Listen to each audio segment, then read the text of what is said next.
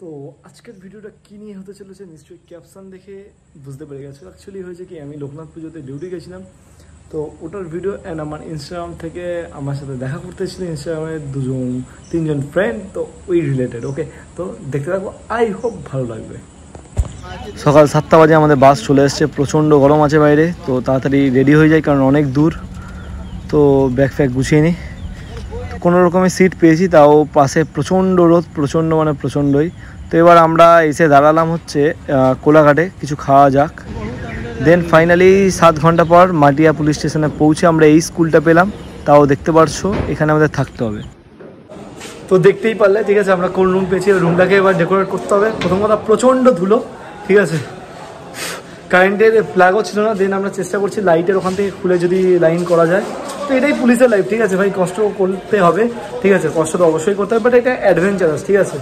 তো যারা ছোটো থেকে ক্যাম্পিং অ্যান্ড সোলো রাইড বা সব কিছু করে এসছো তো তাদের জন্য মজা লাগবে। যাই হোক এ করি রুমটা সেট করে তোমাদের সাথে কথা বলছি। আর হ্যাঁ বাইরে কোলাঘাট না হঠাৎ শক্তিগড় ছিল দাঁড়িয়েছিলাম তো আমাদের জল দিয়ে পরিষ্কার করলাম। দেন আমার বিছানা এবার রেডি হয়ে গেছে। ফাইনালি হয়ে গেছে।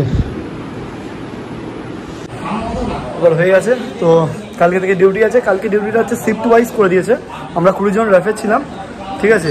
তার মধ্যে থেকে ধরো দশজন সকালবেলায় ডিউটি আবার বাকি দশজন রাতে। তো খুব ভালো ডিউটি আছে। কালকে খাওয়া দাওয়া থানা থেকেই। তো আজকে খাওয়া দাওয়া এখান থেকে ব্যবস্থা করতে হবে আমাদের। দেখা যাক কী হয়। ঠিক আছে? তো থাকো। দেন বাইরে বেরিয়ে গেলাম একটা পাবলিককে ধরে। তো ওর বাইকে করে আমাকে ছ কিলোমিটার দূরে নিয়ে গেল। কিছু খাবার তো খেতে হবে। তো প্রচণ্ড অন্ধকার রাস্তা ফার্স্ট অফ অল তো ছেলেটা বেশ ঠিকঠাক ছিল, অনেক কাহিনী আছে, যাই হোক ছাড়ো সব খাওয়া দাওয়া করে নেক্সট দিন সকাল পাঁচটায় আমরা বেরিয়ে পড়লাম। ডিউটি আমাদের পাঁচটা থেকে দুপুর দুটো অবধি। তো সামনে এসআই স্যার ছিলেন আর আমরা দশজন র্যাফ তো এবার আমরা যাব কচুয়া যে টেম্পেল আছে, যেখানে লোকনাথ বাবার মানে জন্মস্থান, তো সেখানেই। এখন সকাল সকাল অত লোক ছিল না, কারণ শুনলাম নাকি পাবলিক আছে জন্মাষ্টমীতে প্রচণ্ড ভিড় হয় মানে দাঁড়ানোর জায়গা হয় না। যাই হোক, সেই প্রচণ্ড গরম ছিল, তো ইউনিফর্মে আর বিরাট কষ্ট হয়েছে সিরিয়াসলি বলছি। বিকজ একটা ভাবসা গরম মানে জল যতই খাচ্ছি, ঘাম যেন কমছে না। ঠিক আছে? তো এই দেখো সবার সামনে না কথা বলার সেই কনফিডেন্স লেভেল চলে গেছে সিরিয়াসলি বলছি। যাই ভিডিওটা করেছি, তাও তোমাদের যাতে বোঝাতে পারি। বিরাট গরম, একটা পাখা কিনলাম পাঁচ টাকা দিয়ে। তো ফাইনালি এরা এসছে আমার সাথে দেখা করতে, তিন ঘণ্টা জার্নি করে, এরা নিউ টাউন থেকে, ঠিক আছে?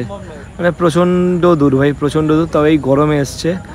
আবার ক্যাডবেরি গিফট করেছে আমাকে সিরিয়াসলি প্রচণ্ড লজ্জা লেগে গেছে সবার সামনে, তো থ্যাংক ইউ সো মাচ তো এখানে এদের যে আমি কিছু খাওয়াবো, তেমন কোনো প্লেস ছিল না, যাই হোক। তো এবার আমাকে যেতে হবে বাড়ির দিকে। তো ফাইনালি এবার যাব বাড়ির দিকে, ঠিক আছে? ডিউটি শেষ, কালকে আসানসোল ডাইরেক্ট জয়েন করব, এরা এদিকে বসে আছে। আবার দেখা হবে সিরিয়াসলি এরা যে আমাকে স্পেশাল ফিল করেছে না সিরিয়াসলি বলে বোঝাতে পারব না, কারণ দু ঘণ্টা প্লাস মানে এগারোটায় বেরিয়েছি, আজকে ঢুকেছে এখন দেড়টায়। জাস্ট ভাবো মানে কত দূরে এসছে সিরিয়াসলি সেই সেই।